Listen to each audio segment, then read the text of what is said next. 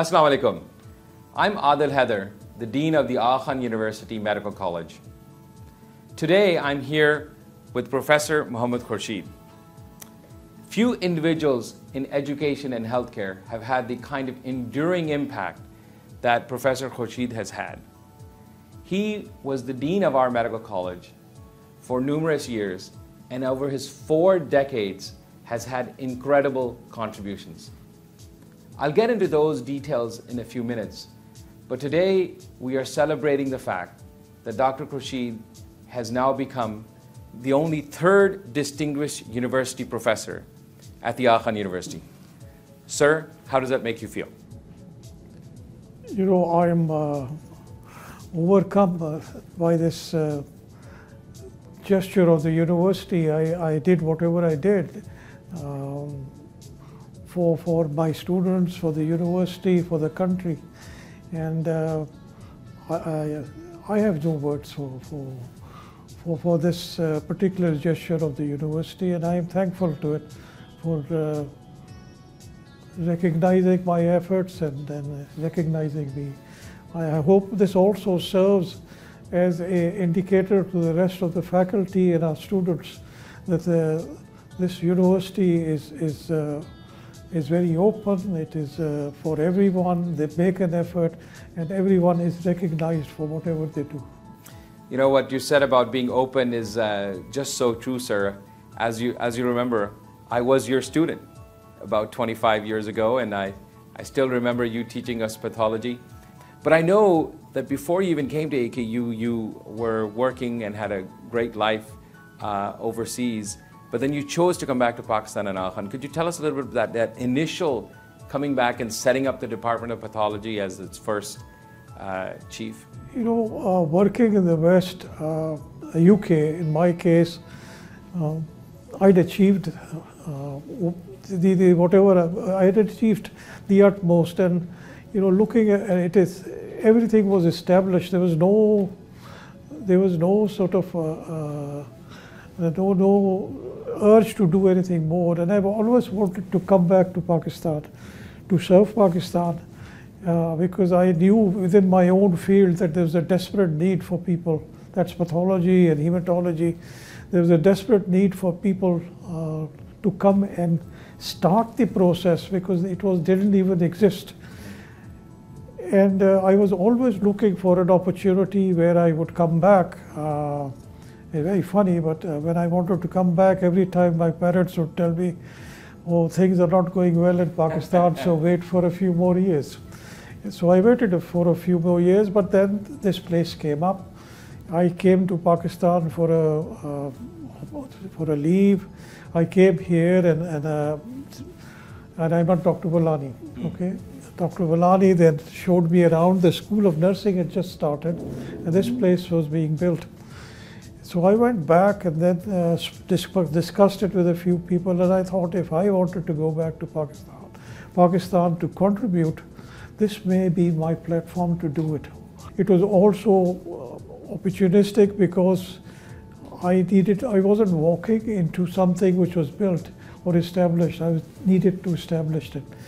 And so I think uh, retrospectively I made the right decision. And a number of our chairs are graduates, PGME and UGME, are opting to stay here and, and probably have a vision very similar to what I had.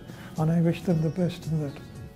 Sir, thank you for that. Uh, for that. And um, speaking of vision, uh, when you came as the first chair for pathology, obviously nothing was built, just like you said. And today, if we look at where the Department of Pathology and Laboratory Medicine is, is that it's the largest department. Uh, it has numerous full professors, uh, and it has multiple residency and fellowship programs.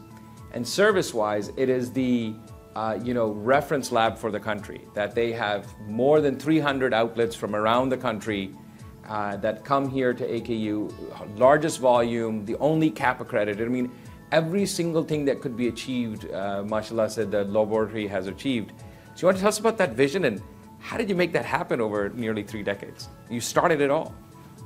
Yeah, it, this was a vision, uh, and uh, visions sometimes grow, and the visions had to be revised as we went along. But initially, as I said, when I, I, I had always kept in touch with the medical scenario in Pakistan, especially pathology. When I came here, uh, I knew to some extent what I had to do. There was no existing quality laboratory services in the city or the country. There was, for example, no stat laboratory services. There were no training programs in pathology. There's uh, very little research uh, uh, in, in, in, pathology. The, as far as the academic staff was concerned, the ultimate was an MPhil. Uh, so I, I felt I had a lot to do. One is to firstly establish a good quality laboratory service and then to establish training programs, also institute research programs, and then to develop linkages with local and international bodies. And fortunately, you know, I managed to establish that base. Uh, I think the, the uh, and also remember laboratories are not just uh, relying on, on medical people, we also needed to develop an allied health system, which we did. Uh, and I'm glad you, you've taken it on now and developing it into a, a, master's program. If one thing, my, if a vision which I had, which was not fulfilled, was to to start an allied health program for various reasons. Good quality laboratory services instituted a, uh, a residency program, uh, got the college involved, had the FCPS recognized, uh, had the FCPS in pathology, four subjects started, uh, and then also I got involved in the, the national associations, and uh, slowly I got, there was a clique of people, three or four people who had come back at about the same time as I had, and we got together and we started this national sort of uh, uh, movement towards developing of this specialty. And I must say that I think it is now, now come up. For example, the first time we did an FCPS in hematology, we had one candidate, and I understand there are now 80 or 90 candidates every time. My first batch, I call them the stars, uh, that they, they also took on the missions and contributed to this eventual development. Uh, and if, if the laboratory has progressed, it is mainly because of the effort of our own trained people, uh, rather than people coming in from outside. So, Sergey, it is uh, not surprising that you, of course, are giving so much credit to the people that you've trained. And mashallah, you have been, you know, uh, the chair of a department, then uh, chief medical officer, uh, associate dean for clinical affairs, and then of course dean of the medical college from 2003 to 2011 and just this incredible achievement of, of really bringing to life impact. Just as ah, Hanka what we want for impact. But then you're one of the very rare individuals that having been dean you went on to establish a new department of oncology. So can you tell us a little bit about that? Why establish a new department and how does a dean go back to running a department? And in fact you know there was a a, a, committee which the, the board constituted about, uh, I think when I was the dean, in fact, uh, I've forgotten its exact name, you may have read the report, that recommended that there should be three or four specialities which should progress in this uh, institution. Oncology was one, uh, neurology was another one, but this uh, women's and child was another one. And so it was there, the, the university recognized it and they needed to, to, to, to, to, to, to, to make sure that it progressed. This department has moved into not only creating it for, creating a niche for itself, but also to help other people, uh, also to help the specialty nationally. And uh, I think it'll move forward. It's got a great future. I had the privilege of looking at uh, your previous work and you, of course, are the epitome of a complete scholar with, uh, we all know about your administrative achievements in developing departments and the lab. Uh, we all know about your achievements in medical education. What I didn't know before uh, was your incredible amount of publications even before you got to AKU, like hundreds, uh, all the way back to, to the early 70s.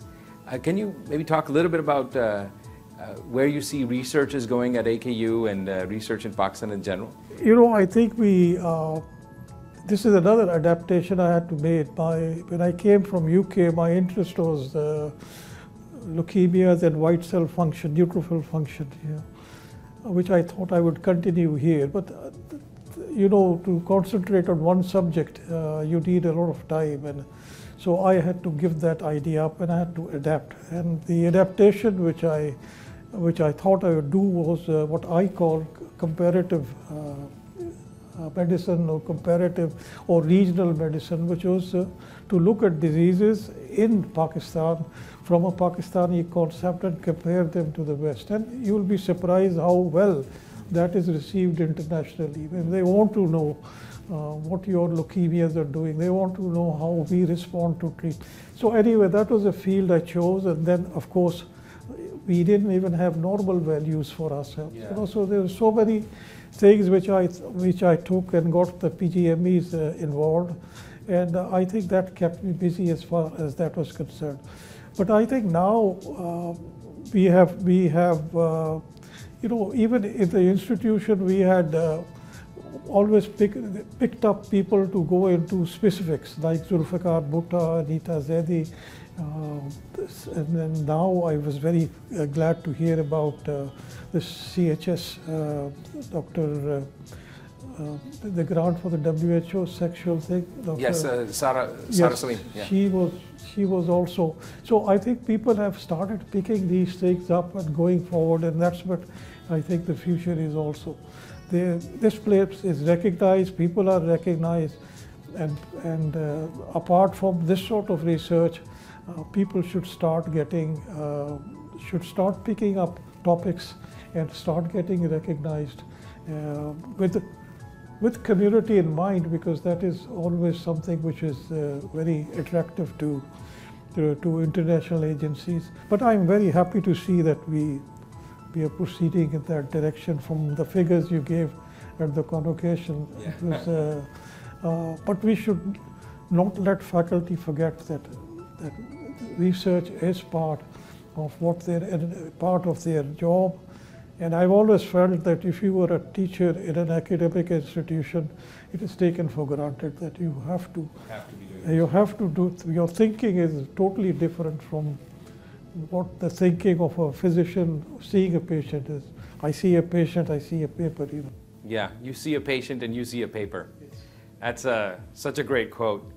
Um, you know, when you when, the way you're just describing this, uh, sir, is that you know, AKU our ethos of ICRA. So if you think about the impact you've had through laboratory medicine and oncology, the quality that it speaks from, of course, the CAP accreditation for the lab and so many other things. But I'm also hearing the relevance and access that you have uh, talked about so much in everything that you've uh, mentioned. Uh, maybe could you give us a little bit about your? I remember being one of your students, and uh, the way you would give a lecture would just put something in such a uh, easy perspective. You really could boil down things to for a young student to understand them well. And then in the exams, uh, it was a very formal affair, but I remember it was a very fair affair. That you uh, you know asked very specific, very pertinent things, and then you would take it into. Maybe you could talk a little bit about your educational philosophies and just how you uh, managed to inspire so many students. Turns out both the chair of oncology and the chair of pathology are your students, uh, and so many others have been in the past. Um, maybe a little bit about your educational philosophy and how you teach people. I'm not a textbook teacher or a lectures or something. I've always adapted to, to, to conceptual teaching. And if you remember, I, I always asked questions in between. I never just came and gave a lecture and Yeah, went on. always very interactive. So it was very interactive. And our practicals are very designed on, on what now is problem oriented teaching, but even at that stage, the pathology practicals were actually uh, eh, they were designed on patients presenting to the institution, okay, uh, to this place, so that you people would actually, as you go, if you saw some, if you saw a case with a pain in the abdomen, and you know, then tied it up to appendicitis and then acute inflammation, it would stick in your mind. I could have come and given you a lecture on acute inflammation. It was not the same. So I think it was my approach to teaching has always been that model, yeah. conceptual and uh, more uh, interactive, very interactive, in fact. Uh, sessions which I used to enjoy, I don't know if you remember them, was the microscopic sessions. Yes, for which sure. I had with the students, Yes. Uh, six or seven sitting together, looking at blood films Yeah. and, and you know, just looking at a red cell, developing a whole sort of Discussion scenario. around it, yeah, yeah, Yeah. yeah. So I think that sort of teaching always impressed me, and I've tried to bring this in, not at my individual level also, but at the level of the department. What would you say to yourself back in 1990 when you were uh, uh, running this department that was really up, upcoming as a faculty member? There are many faculty members who are, uh, you know, starting out their careers or find themselves in new uh, leadership opportunities. What, what would you, what advice would you give yourself, uh, you know, when you were starting out? You know, I think we were uh, very fortunate. This place was very fortunate that the initial faculty appointees were totally committed to this place. And you'll be surprised to know anyway that three of us were class fellows. Okay? Dr. Farhat Moazam, Dr. Javed Rizvi, and myself. And uh, So three department chairs. So pathology, Javed Rizvi from gynecology, uh, OB, and then Dr. Farhat Moazam from uh, surgery. Wow. And Mushtaq was just a one year senior to us. So, I- apart from that, Yeah. I think the professional background, the, the initial chairs, the, cha- the, the, the deans, the associate deans, was a very good group of people. You know, no individual could do things. It, it has to be a, uh, a joint effort. And I think we had our differences. We had uh, forums where we could discuss those differences. And we had very good support from the Board of Trustees, including His Highness, uh, who used to meet the faculty very frequently, you know, in this lounge, which uh, Yeah. doctor's lounge here. So now, uh, Dr. Khurshid, let's come towards the students. Uh, do you have a, any special advice to the students of today, postgrads or undergrads, about how they should be conducting themselves? Very different uh, scenario they're in now with all this online teaching uh, and a lot of self-directed. There's a lot of responsibility on them nowadays uh, to do this, a lot of stuff on their own. You know, I think the, the, from the trend I see in the university education systems now is the, the responsibility is more on students than on uh, the teachers. The teachers create a system that the students um, are supposed to to to to to, better, to to to use it to their best, uh, with perhaps being tested occasionally to see if they're utilizing it. I'll give you a, a, a dean in the Uni- USA once told me about problem-oriented teaching. He said, "You know what I'm worried about?" I said, "No." He said, "I'm worried about all the free time these students get, and what they actually utilize it for." So I, I think the two programs also complement each other. One of the other things which I uh, I, I've always wanted to do, and, and in fact we had started doing it, was to to to use the PGMEs as teachers for UGMEs. Okay, I don't know if you remember this. There used to be a lot of this, and in fact I'd asked Rukhsana to start a program for for training residents as teachers uh, so that they would know what the curriculums are, what the teaching methodologies are. So when they interacted with students, they, they knew what they were doing rather than this. So that interaction, I think, is very important because many times the PGMEs are also role models for UGMEs. Okay? Uh, and uh, they fixate on, on, a, on a resident who's very good, and try and sort of do what he wants that's, that model also has built up in this place. I have not, there used to be when in Dow, for example, when the few student numbers were very less, there used to be that sort of model. But here it, it, it developed. Dr. Khurshid, I want to uh, uh, you know, ask you a few sort of rapid questions here uh, for everybody who gets to watch this. Uh, when you were a medical student, what's your favorite memory from when you were a medical student? You know, I have a lot of favorite men. Uh, As a medical student, uh, my favorite memory was I got elected as president of uh, the Dow Medical College Students. Oh, wow. Uh, And uh, that in, in That's incredible. Such a large student body, and you're Yes. president of that. And that was something which was, uh, at that time, was uh, uh, seen as a great achievement, Yeah. you know. Let me ask you, uh, in your mind, what would have been the most consequential decision that you made when you were dean? When you were the dean? You know, you had to make a lot of decisions. Yeah. Let me tell you something which I think, and I'm going to be frank, I think that the dean and the CEO has to work very closely together. In my time, the dean was the chief medical officer, faculty officer. And Nadeem Khan and I always consulted each other, and I had a lot more say in the institution, in the hospital, than what I think is currently currently there. And therefore, things worked very smoothly. But I let, uh, you know, so we, for example, developing new services, Yes. uh, appointing people, even appointing administrative staff, research, all this we interacted with each other a lot. Okay, so I think it was all one of the achievements I would then say was this creation of a model to administer both the uh, hospital and the medical college to so, see that it is working closely together, which I think you are attempting to do, both of you are attempting to do now. Uh, you know, if you look at the PMDC regulation, they say it is the dean who should be, uh, the principal who should be, Yeah. the, who should look after the place. Okay? So I think the, this, this interaction is very important. I, I'm very happy to see the, the, the dean and CEO now working together so the, whatever service is developed is developed with research, quality, and service in mind. You know, that was the intention. Well, I, I'm so grateful for your, uh, you know, recognizing that. Um, you know, you, um, uh, Dr. Khurshid, I remember our conversation, and uh, um, you said, "Look, Adil, I'm not going to uh, get be involved administratively, although you're very kind that you always give us good good advice whenever I come to you. Uh, but you've chosen to continue to practice clinically, and and of course, you're a source of great advice to all the clinicians, and you're so kind that you mentor them and you still still spend time." uh, and we're so grateful for that. But what do you see yourself doing forward, looking forward?